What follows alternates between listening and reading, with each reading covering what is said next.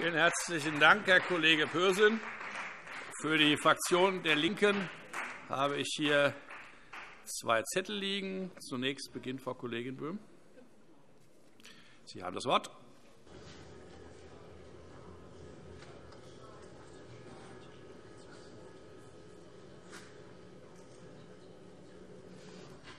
Sehr geehrter Herr Präsident, sehr geehrte Damen und Herren!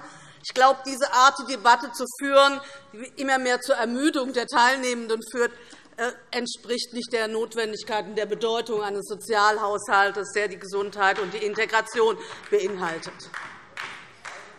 Wir haben deutlich gehört gestern von dem Kollegen Jan Schalauske, dass wir eine Spaltung in der Bevölkerung haben zwischen Arm und Reich, die immer weiter auseinandergeht. Wir haben deutlich gehört, dass, es, dass die Armut auch in Hessen, in diesem reichen Hessen, steigt, dass Hessen über dem Durchschnitt der anderen Bundesländer liegt. Ich denke, das sind Gründe genug, in einem Sozialhaushalt zumindest, wenn man das nicht woanders auch regeln kann. Eigentlich wäre die Wirtschaftspolitik, wären andere Dinge dafür erforderlich, die Wohnungspolitik, aber im Sozialhaushalt zumindest das abzufedern, was in dieser Gesellschaft kaputt und auseinandergeht. Und dazu brauchen wir Maßnahmen. Kollegin Wissler hat heute etwas gesagt zum Thema Erwerbsarmut, dass es immer mehr Niedriglohnbeschäftigungen gibt. Ich denke, da brauchen wir nicht den Wirtschaftshaushalt, den Wirtschaftsbereich zu loben, sondern wir sehen eher, ähm, wie schwierig es ist für Menschen heute noch ihren Lebensunterhalt zu organisieren und zu gewährleisten. Zur Altersarmut werden wir morgen sprechen, und zur Kinderarmut haben wir eine völlige Fehlanzeige in diesem Haushalt. Ich finde nichts dazu. Dieser soziale Ausgleich fehlt in diesem äh, Landeshaushalt. Stattdessen wird von Frau Ravensburg das Ehrenamt gelobt.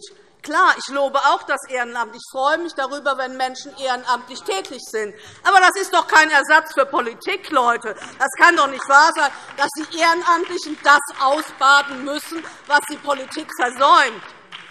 Und ich finde, da, ist einfach, da missbrauchen wir das Ehrenamt, da missbrauchen wir den guten Mut und das Engagement von Ehrenamtlichen. Und da finde ich es zwar schön, wenn Sie auch den Tafeln etwas zukommen lassen wollen.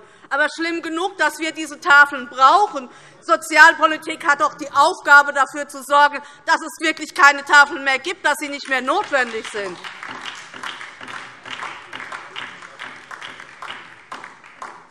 Ich will mich jetzt noch mit, drei Themen beschäftigen, die wir aus dem, äh, Sozialhaushalt herausgeholt haben, wo es uns besonders wichtig ist und besondere Diskrepanz sehen zu Ihren Ankündigungen, aber auch zu dem, was Sie tun.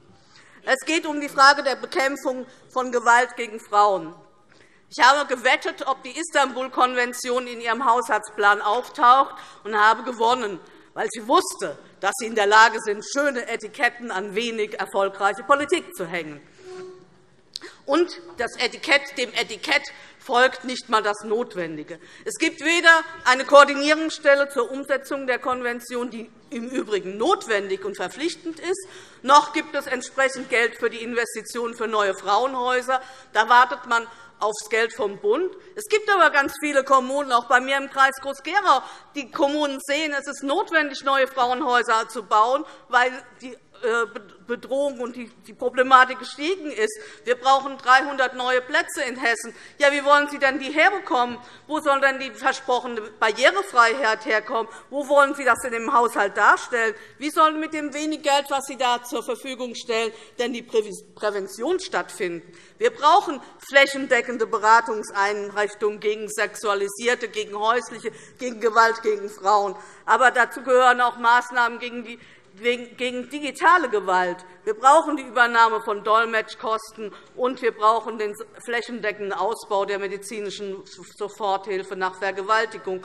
Aber das ist nicht einmal davon ist die Rede zwar, aber alleine es mangelt an der finanziellen Ausstattung. Und hier wäre es notwendig, wirklich nachzusteuern. Das zweite Thema, das ich aus dem Haushalt herausgreifen möchte, ist die gesundheitliche Versorgung. Gut, Sie sind nicht in der Lage, eine Planung auf den Weg zu bringen, obwohl der Landeskrankenhausrahmenplan seit äh, seit fünf Jahren neu auf, alle fünf Jahre neu aufgelegt werden sollte und seit 2009 eigentlich äh, der jetzige ist von 2009 und plant überhaupt nichts.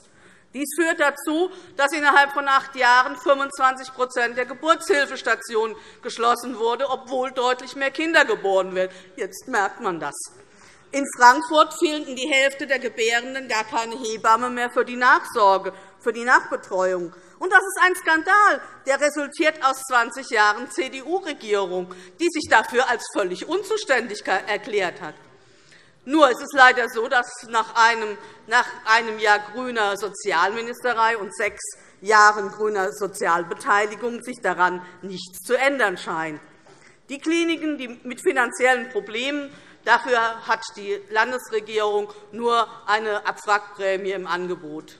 Und wenn der jetzige Sozialminister nur die Sprechblase seines Vorgängers wiederholt, dass nicht die Landesregierung, sondern der Träger die Kliniken schließt, dann ist das für die Kliniken, die heute vor großen Herausforderungen stehen, ob die Digitalisierung ist oder die Unterfinanzierung, ist eine riesen äh, Unverschämtheit.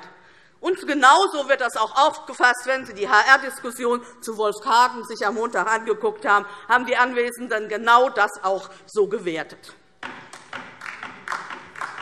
Und es ist Zeit, dass das Land endlich für die Investitionskosten aufkommt und das nicht nur Schrittchen für Schrittchen macht. Und auch für die, äh, das Gutachten der Hebammenversorgung ist ja eine schöne Sache, aber da muss man ja auch für die Umsetzung Geld einplanen. Ich denke, unser Haushaltsantrag unser Haushaltsantrag wird sich damit beschäftigen. Nämlich die, wenn man nur den runden Tisch jetzt gerne wertschätzt, aber ihm kein Geld oder für die Umsetzung kein Geld zur Verfügung steht, ist das eine reine Verhohnepippelung. Und wir müssen dafür sorgen. Hier ist die Landesregierung tatsächlich dafür aufgefordert, zu sorgen, dass Frauen ihre Kinder nicht im Auto oder mit Hilfe der Feuerwehr auf den Weg bringen müssen, wie ich es gestern auch schon erwähnt habe. Dass es an Aufsicht, an Ausstattung und vielerorts auch an kritischer Diskussion in der Psychiatrie mangelt, ist im letzten Jahr deutlich geworden. Es ist Unsinn, immer mehr Geld in forensische Kliniken zu stecken, statt diese, wo die Tagessätze natürlich ganz toll sind. Andere würden sich die Finger danach lecken, aber kein Geld für die Prävention und die Krisenintervention zur Verfügung zu stellen. Wir brauchen in Hessen ein flächendeckendes Krisensystem, das vom Land der Unterstützung und der Anschubfinanzierung bedarf. Und da sollte es eine klare Rahmenplanung vonseiten des Landes geben, die regional umgesetzt ist. Das muss aber wirklich ein echtes Krisensystem sein, sodass Menschen 24 Stunden, sieben Tage lang auch die Möglichkeiten haben, sich in einer psychischen Krise dahin zu wenden und auch kurzfristig dort wohnen, übernachten können. Allerdings ist der Haushaltsansatz dazu ein Trauerspiel. und Wir fordern die Landesregierung auf, endlich einmal ambulant vor stationär wahrzumachen und die Menschen in psychischen Notsituation tatsächlich zu unterstützen. Das dritte Thema, mit dem ich mich beschäftigen möchte, ist die, Kinder, die frühkindliche Bildung. Wir haben ja gestern gehört, dass das Bundesprogramm Fachkräfteoffensive eingestellt werden soll. Und hier ist es besonders wichtig, dass in Hessen nachgesteuert wird. Bis 2025 werden 300.000 ausgebildete Erzieherinnen und Erzieher fehlen wenn die Ausbildungsquoten nicht signifikant erhöht werden. vor diesem Hintergrund sind die 200 praxisintegrierten Ausbildungsstellen nur ein Tropfen auf den heißen Stein. Wir wollen, dass es zumindest 800 sind. Das wäre ein Zeichen für einen deutlichen Fachkräfteaufwuchs, und das wäre auch mindestens notwendig.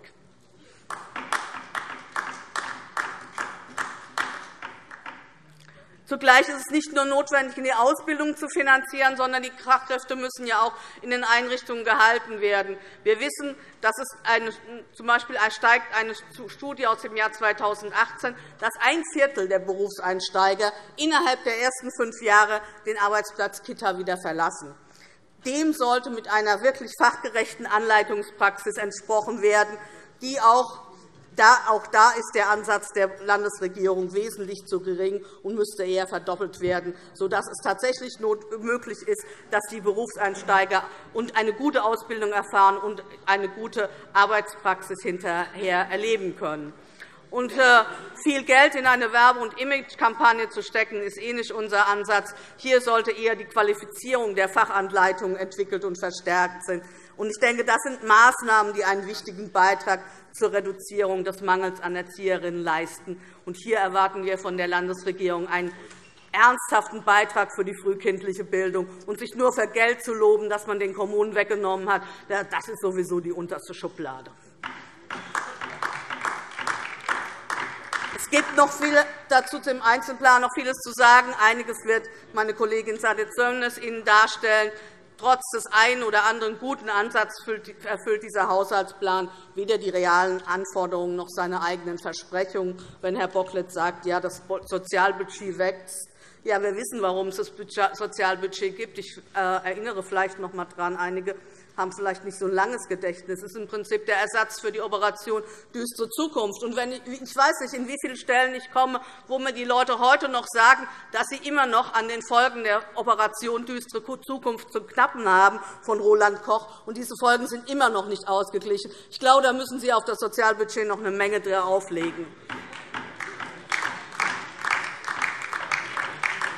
Fehlen viele andere Dinge. Das Taubblindengeld, die Ombudsstelle für Kinderrechte wird immer noch nicht vom Land finanziert. Die Maßnahmen gegen Langzeitarbeitslosigkeit sind zahnlos. Es gibt weder einen Ausbau öffentlicher Beschäftigung noch eine unabhängige Erwerbslosenberatung. Aber genau dazu werden wir die notwendigen Anträge stellen. Ich bedanke mich.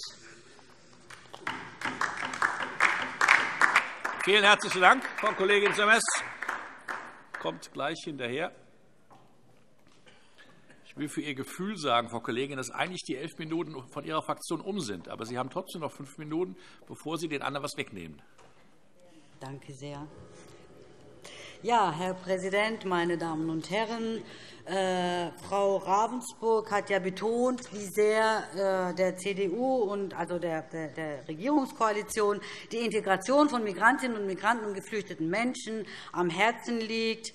Äh, wir stellen aber, wenn wir in den Haushaltsplan reinschauen, das Gegenteil ist der Fall.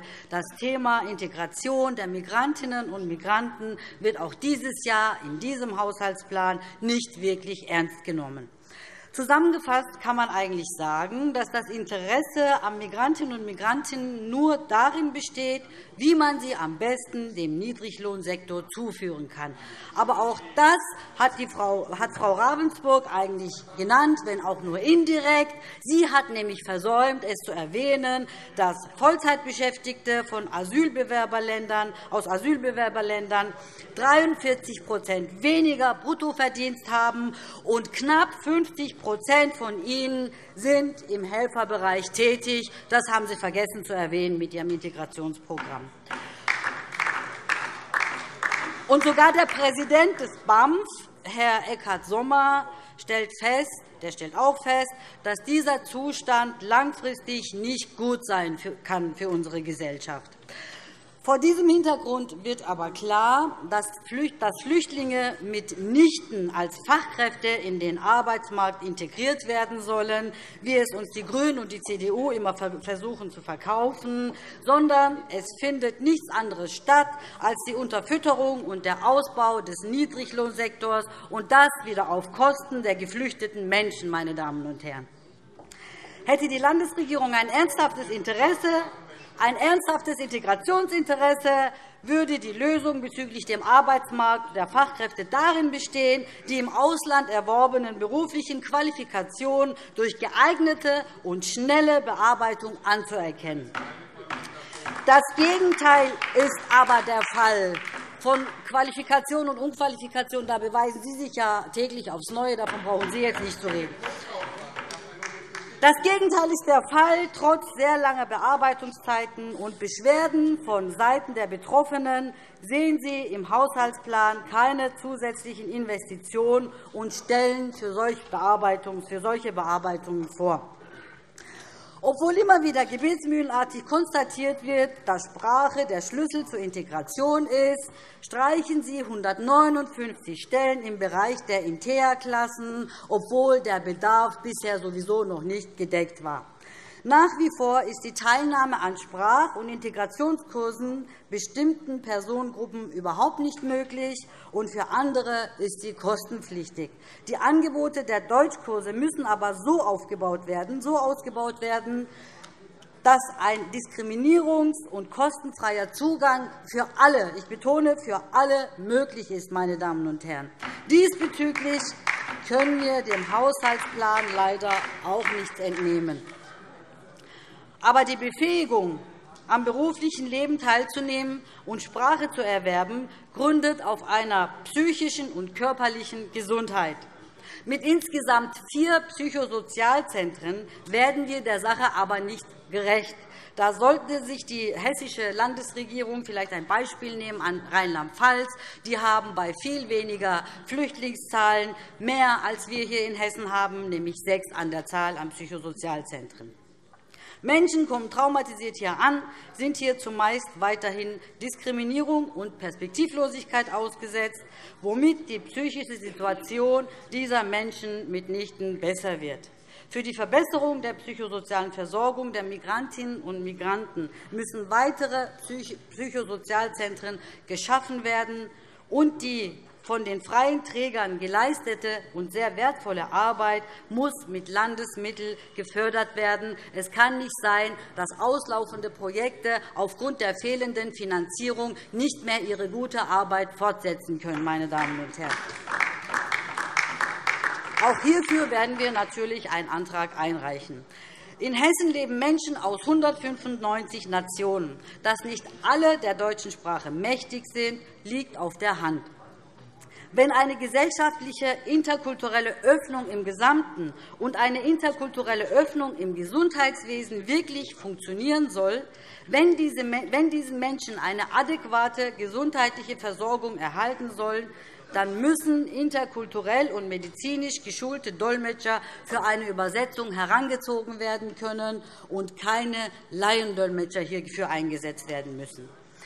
Deshalb muss finanziell sichergestellt werden, dass Kliniken auf qualifizierte Dolmetscher zurückgreifen können, die eben medizinisch und interkulturell geschult sind. Ich könnte ja jetzt eigentlich weitermachen, aber um das Zeitkontingent nicht äh, weiter auszureizen, komme ich zum Schluss. Aber Eins will ich mir dann doch nicht verkneifen. Äh, Ihr Interesse an Integration und politischer Teilhabe der ausländischen Bevölkerung machen Sie besonders deutlich mit Ihren Plänen bezüglich der Ausländerbeiräte. Meine Damen und Herren. Das machen Sie einmal deutlich mit Ihrem Gesetzentwurf, den Sie eingebracht haben, aber auch in Ihrem Haushaltsplan machen Sie das auch wieder deutlich. Trotz der bisherigen unzureichenden finanziellen Mittel, die die Ausländerbeiräte zur Verfügung haben, sehen Sie im Haushaltsplan keine Erhöhung für die Ausländerbeiräte vor. Vielen Dank. Ja, die werden auch abgeschafft. Aber ich glaube, das lassen Vielen herzlichen Dank. Zu diesem Haushalt liegt keine Wortmeldung der Fraktionen vor, sodass ich dem Herrn Staatsminister Klose das Wort übergebe.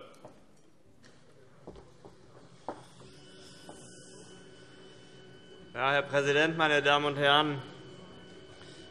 Lassen Sie mich zum Abschluss unserer Debatte zum Einzelplan des Ministeriums für Soziales und Integration noch einmal die zentralen Schwerpunkte dieses Budgets deutlich machen. Ich muss sagen, nach ähm, manchen der in der zurückliegenden Debatte vorgetragenen Auffassungen scheint mir das äh, nicht nur geboten, sondern notwendig.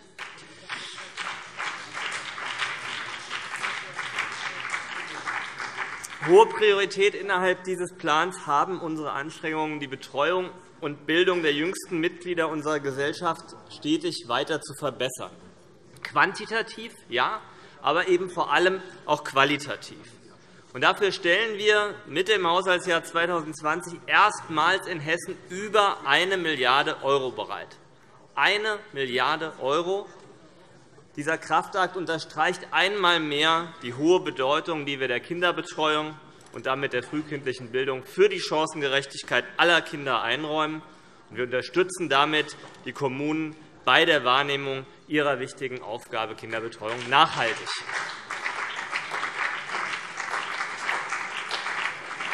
Alle Kinder, alle Kinder sollen in Hessen bestmögliche Startchancen haben, und das verlässlich. Deshalb verankern wir unsere Maßnahmen, um das gute Kita-Gesetz in Hessen umzusetzen, auch im Hessischen Kinder- und Jugendhilfegesetzbuch. und verlässlich. Das heißt für die hessische Landesregierung auch, wir werden diese Maßnahmen auch dann weiterfinanzieren, wenn der Bund tatsächlich nach 2022 aussteigt, weil optimale Qualität in der Kinderbetreuung eine dauerhafte Aufgabe ist. Und leider sind die Erfahrungen mit dem Bund, mit Bundesministerin Frau Dr. Giffey, keine guten, wenn es um die verlässliche Finanzierung von Kinderbetreuung geht. Noch im November bei ihrem Besuch hier in Wiesbaden hat sie betont, wie wichtig die Fachkräftegewinnung ist. Sie hat sich vor einem Abakus ablichten lassen, in dem sie diesen Bereich besonders hervorgehoben hat. Und dann hat sie den Ländern am 17. Dezember 2019 mitgeteilt, dass der Bund seine Finanzierung der wichtigen dualisierten vergüteten Ausbildungsplätze in 2020 einstellt und die Kommunen und Länder damit alleine sind. Da muss ich Ihnen sagen, zwei Wochen vor Jahresbeginn Wer so vorgeht, der weckt erhebliche Zweifel an seiner Ernsthaftigkeit. Und deshalb ist unsere hessische Garantie, die Qualitätssteigerung bis 2025 durchzufinanzieren, so wichtig, so wertvoll und bundesweit einzigartig.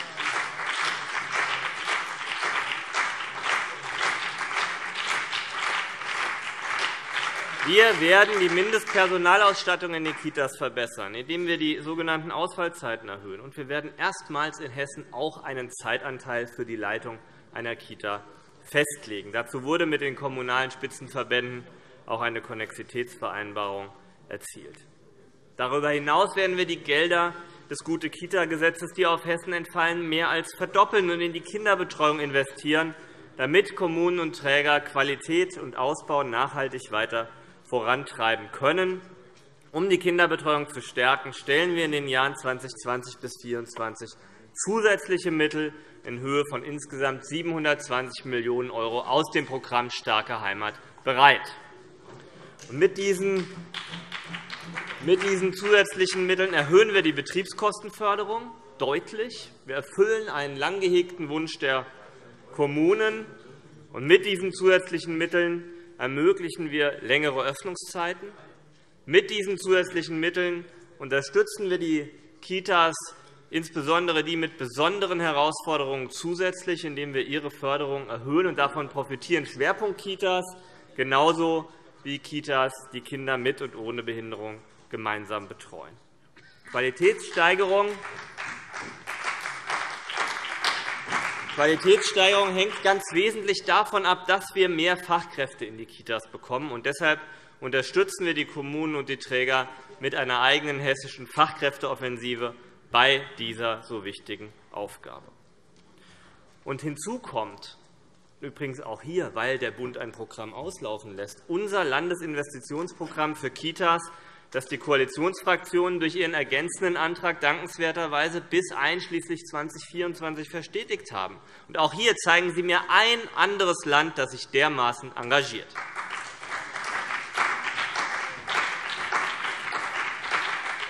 Meine Damen und Herren, das Wohlergehen von Kindern wird selbstverständlich auch außerhalb von Einrichtungen, nämlich in der Familie, entscheidend bestimmt. Eine wichtige Aufgabe unserer Politik ist es deshalb, starke Familien völlig gleich, ob es sich um traditionelle Familien, um Alleinerziehende, um gleichgeschlechtliche oder Patchwork-Familien handelt, zu fördern und Kinder und Jugendliche vor jedweder Gewalt zu schützen. auch hierfür erweitert dieser Haushalt 2020 unsere Möglichkeiten. Dafür bin ich sehr dankbar. Komme zu einem weiteren wichtigen Schwerpunkt auch in diesem Jahr. Wir wollen eine gute, moderne und auch im ländlichen Raum gut erreichbare Gesundheitsversorgung in ganz Hessen. Dafür nehmen wir nicht nur die Krankenhäuser, sondern das gesamte medizinische Spektrum in den Blick, also gezielt auch Versorgungsbereiche wie die Pflege und die soziale Betreuung. Gerade weil die demografische Entwicklung insbesondere verlangt, dass wir die strikte Trennung in verschiedene Versorgungssektoren endlich überwinden und die Sektoren vor Ort stärker zusammenführen. Wir haben uns dafür ein ganzes Bündel von Strukturentwicklungsmaßnahmen vorgenommen, die auch sorgfältig finanziell hinterlegt sind und mit denen wir dafür sorgen, dass sich die gesundheitliche Infrastruktur weiterentwickeln kann. Wir finanzieren Verbundstrukturen der Zukunft, beispielsweise die Gesundheitszentren. Wir finanzieren aber auch dezentralisierte Dienstleistungen wie telemedizinische Anwendungen oder auch die Gemeindeschwester 2.0. Und wir sorgen dafür, dass die wohnortnahe Versorgung gerade für ältere und mobilitätseingeschränkte Menschen im ländlichen Raum sichergestellt wird. Und ja, die Basis für eine qualitativ hochwertige stationäre Versorgung sind moderne, sind zukunftsfähige Krankenhausstrukturen. Deshalb haben wir die Investitionsmittel für die Krankenhäuser noch einmal deutlich erhöht. Bereits 2019 waren es insgesamt 280 Millionen €. Wir knüpfen in 2020 an diese überdurchschnittliche Investitionsförderung der letzten Jahre an. Seit 2017 ist es eine Steigerung um fast 25% die Finanzmittel für hessische Krankenhäuser werden auf insgesamt über 310 Millionen € jährlich erhöht. Damit sind wir im Vergleich der Bundesländer Teil der Spitzengruppe. Wir werden uns wir werden uns trotzdem darauf nicht ausruhen, weil wir wissen, dass ein weiter wachsender Bedarf an Modernisierungsinvestitionen auf uns zukommt, dem wir auch in Zukunft nur mit gemeinsamen Anstrengungen begegnen können. Meine Damen und Herren, ein ganz besonderes Markenzeichen der Sozialpolitik dieser Koalition ist das Sozialbudget, das wir in der vergangenen Legislaturperiode neu geschaffen haben. Wir führen es nicht nur fort, wir erhöhen es mit diesem Haushalt 2020 auf nunmehr 121 Millionen €. Das Sozialbudget ist und bleibt damit weiterhin ein ganz wesentliches Merkmal unserer verlässlichen Sozialpolitik in Hessen Hand in Hand mit vielen Engagierten vor Ort. Sie sehen, mit den vielfältigen Maßnahmen dieses Budgets unterstützen wir die Vielfalt des friedlichen Zusammenlebens. Wir unterstützen gerechte Teilhabechancen, weil gesellschaftliche Vielfalt für uns Bereicherung, Herausforderung und Chance zugleich ist. In diesem Land leben Menschen aus fast allen Staaten der Welt mit unterschiedlichsten Herkünften, Hintergründen und Merkmalen friedlich zusammen. Und dafür, dass das so bleibt, arbeiten wir jeden Tag, weil nämlich entscheidend ist, wo wir gemeinsam hinwollen und dass alle dazu ihren Beitrag leisten können. So gern ich würde, ich kann im Rahmen der vereinbarten Redezeit natürlich nicht alle Highlights dieses Einzelplans ansprechen, aber ich will zumindest kurz noch den Bereich Arbeitsmarktförderung adressieren. Wir wollen uns trotz der insgesamt durchaus guten Lage am Arbeitsmarkt der Gruppe der Langzeitarbeitslosen besonders annehmen.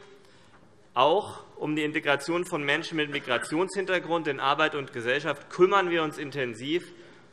Und beides tun wir, weil eben die gleichberechtigte Teilhabe am Erwerbsleben eine wesentliche Voraussetzung zur Teilhabe an unserer Gesellschaft ist.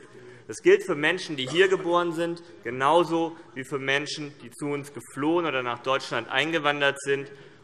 auch hier sehen Sie einen deutlich roten Faden in diesem Haushalt. Meine Damen und Herren, mit Hilfe der Budgets dieses Einzelplans werden wir unsere verantwortungsvolle, unsere zielgerichtete und an den Lebenswelten aller Bürgerinnen und Bürger in Hessen orientierte Sozial- und Integrationspolitik auch im Jahr 2020 fortsetzen und verstärken. Ich danke Ihnen für Ihre Unterstützung dabei.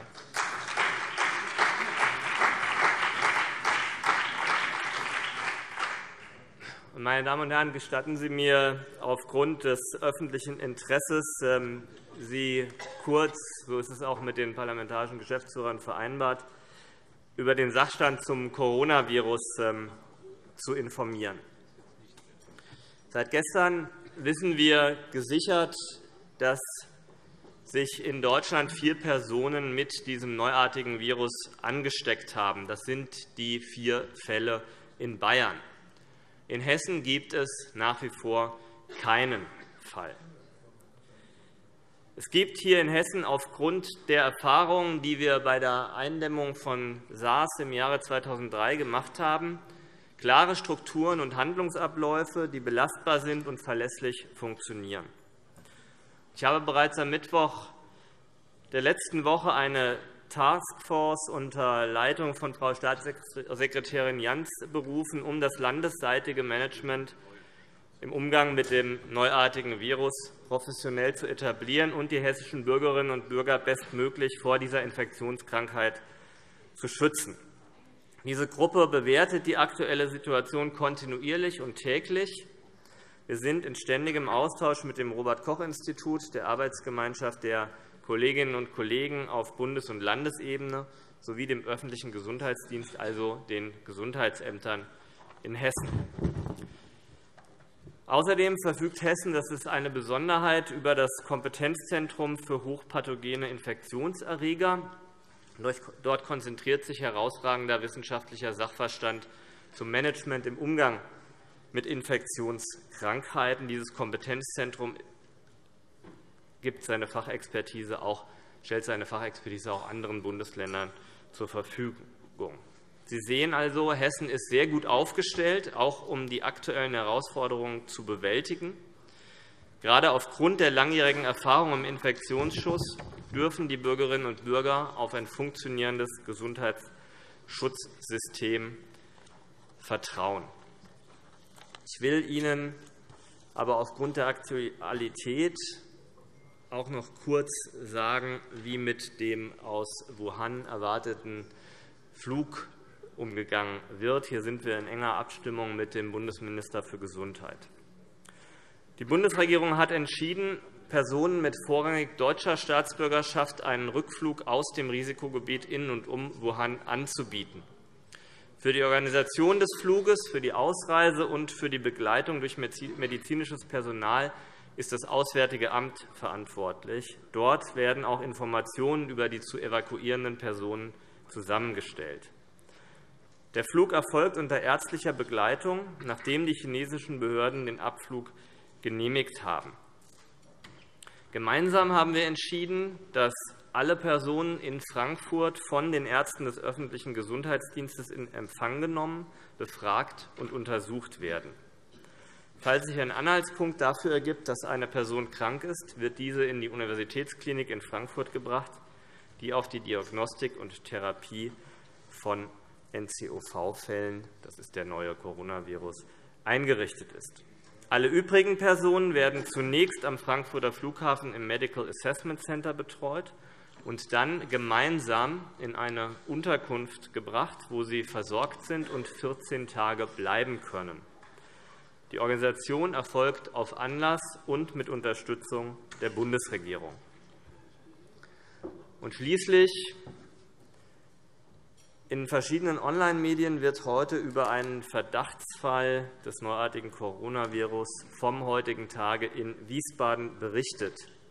Ich kann Ihnen mitteilen, dass dieser Verdacht inzwischen nach Angaben des Gesundheitsamtes entkräftet werden konnte. Vielen Dank. Vielen Dank, Herr Staatsminister, für diesen auch informativen Beitrag. Äh, da gestern über Redezeiten äh, diskutiert worden ist, äh, will ich hier allen Beteiligten mitteilen. Das war eine Verabredung gewesen, die getroffen worden ist, wie gestern ja auch schon, aber heute schon wieder, und die dazu führte, dass dieser Teil der Rede der Landesregierung nicht zum Thema Haushalt mit eingerechnet wird. Nur einfach, damit das jeder Beteiligte weiß. Punkt 2 haben wir den Punkt des Einzelplans nunmehr verlassen.